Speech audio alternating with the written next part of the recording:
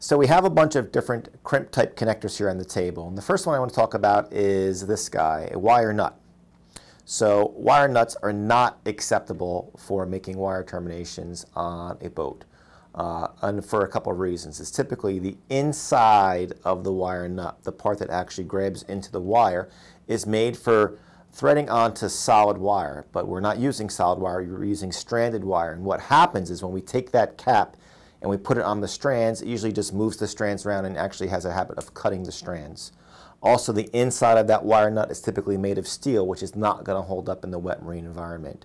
And also, really, there's no way of sealing this up. And people wrap electrical tape and put caulk and stuff in there. And the bottom line is none of it works. So do not use wire nuts. They are not acceptable or approved for use on board boats. Over here we've got some different styles and the first thing I want to talk about is these ring terminals. So I'm going to pick up this ring terminal here and it is a crimp type terminal. The wire comes in and we're going to use a tool and we'll show you later on how to do that. We're going to crimp that to hold that wire in place. So the first thing I might know is this yellow sleeve on here. So that sleeve is for two reasons. Uh, the first thing is the yellow actually tells me what size wires it will accept in the end. And the other part of that uh, yellow is that it's an insulator to stop that crimped area uh, from coming into contact uh, with any with anything that's going to cause an issue. And besides that ring terminal, we've got different diameters up top. So we can see this one has a hole in it. It's about 3 eighths. And we see we have some different sizes here.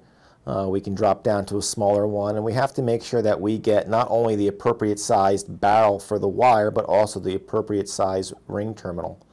Uh, and over here you'll see we have this block, terminal block and we want to make sure if we want to put a connector on this stud we want to make sure we're using the right size uh, terminal for the right size stud. So looking at that you might say okay hey you know that one is the perfect fit that's good see it's on there nice and tight going to get good contact on the plate, and the nut will come on there and we'll have good contact top and bottom.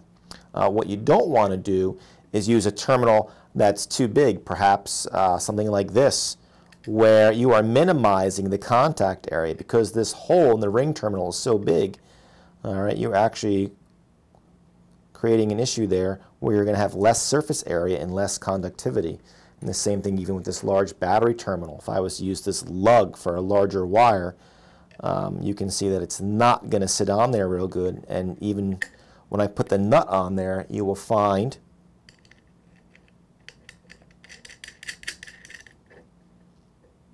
that there's a lot of spacing. And even the nut is bearing on a very small area of that terminal. So again, uh, creating an area of resistance and voltage drop. So the ring terminals. Not only are they available in different size rings, but the terminals themselves are available for different size wires, and we'll see that right here. So the first one we see is this red one, uh, and this ring terminal has a red band on it, and that means it's able to accept 18 to 20 gauge wires. So remember, we're talking about really small wires in American wire gauge. All right, so here's an example of an 18 to 20 gauge wire. All right, so that's something that the red terminal would be appropriate for. The next ring terminal I have has a blue jacket on it, and that blue jacket is for 14 and 16 gauge wires. So we're looking at something about that size. The yellow terminal is for 10 and 12 gauge wires. All right, so we can see these wires all right, are getting larger in diameter as the number is going down. This burgundy connector on the end is for an 8 gauge wire. And here's a, going to the next step, we can see a battery lug, which we'd be using on, um, typically when we get below maybe 6 or 8 gauge wire, we're going to go to lugs. So a couple things when we're picking these out, we have different size wire requirements. We have different ring requirements for the ring terminals. So how much wire did I strip? About 3 sixteenths to a quarter of an inch. Again, we want it to fit so the insulation just meets that barrel and there's a little bit protruding. And if you look there, you can see that. That barrel just getting in there, a little bit of protruding on the outside. And that's exactly what I want. So now I'm ready to take this wire and I'm actually going to put it in the end of one of these ring terminals. Okay, and I'm going to make sure it fits in there nice and neat. All right, and that's about how much we want hanging out. So now, how are we going to crimp that? There are a couple different styles of crimp tools that are available.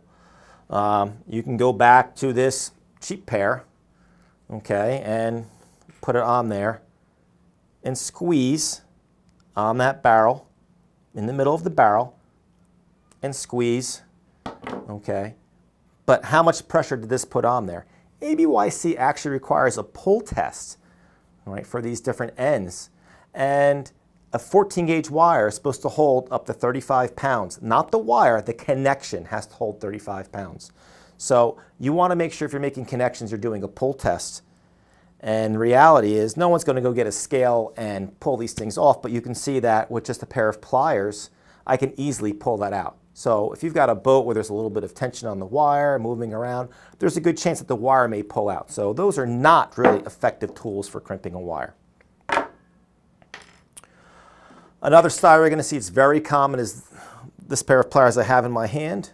We're going to strip again about 3 sixteenths. And a neat thing about this tool is there's a little adjustable spot here and you can adjust it. There's a scale. So you can kind of get the same amount of wire strippage each time. All right, so again, I'm going to put that end on there. And with this guy, we have two spots. One spot says insulated and one side says bare. All right, so with this plastic on there, that is an insulated connector. So we are using that elliptical crimp on here. We're going to put that in the middle of the barrel. All right, and we are going to squeeze.